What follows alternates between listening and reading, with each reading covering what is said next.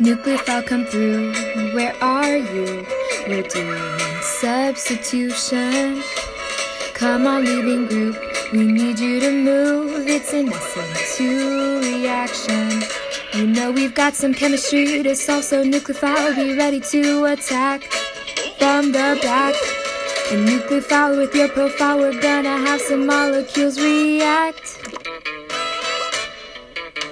Reaction SN2 that nucleophile came through. The leaving group separated. Yeah, we can count on you. Reaction SN2. It's an inverted configuration. Hey gang, I'm really confused. Like, what's wrong, Daphne? Yeah, what's wrong? I don't know what kind of products are going to form from our reaction, and I don't even know what our reaction is going to be.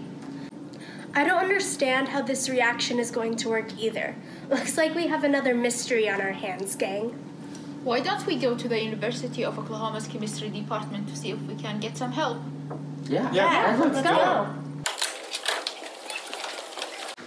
Hey, Professor Gabe.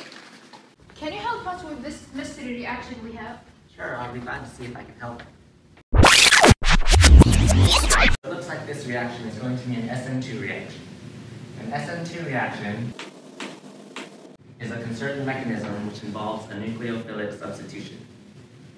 The nucleophile attacks the substrate from the back,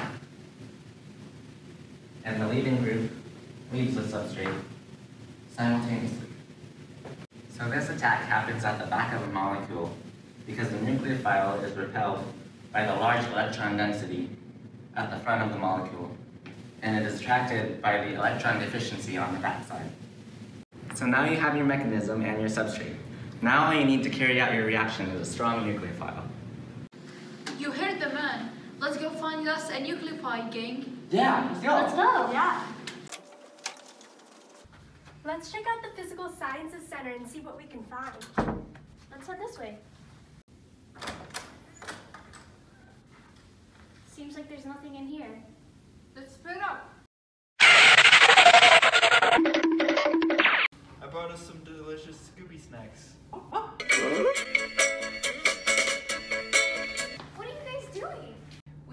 Find the nu- nucleophile anywhere. How will we get the product we want?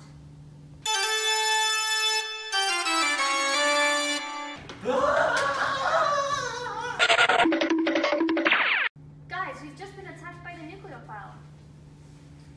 So now you are part of our group. But who are you? Velma, let's catch him. So now let's reveal who this really is.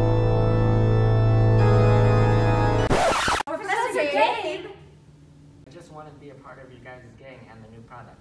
Sadly, that means Shaggy and Scooby had to be the leaving group.